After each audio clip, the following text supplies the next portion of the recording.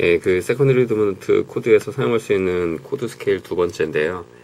일단 전 강의에서 했던 거를 토대로 그 전 강의에서 그 정해졌던 그 Mixolydian scale들이랑 그 harmonic minor perfect fifth below scale이랑 altered scale 사용할 수 있는 거를 그, 어, 첫 번째로 생각을 해 두시고 그리고 그 이외에 그 사용할 수 있는 스케일들이 또 이렇게 여러 가지가 있게 됩니다.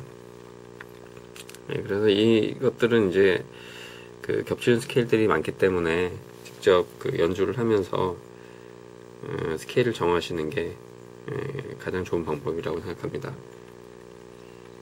에, 요거 필기 되어 있는 거는 그 필기를 참고해 주시면 되겠고요. 다음 강의에 이어서 계속 알아보도록 하겠습니다.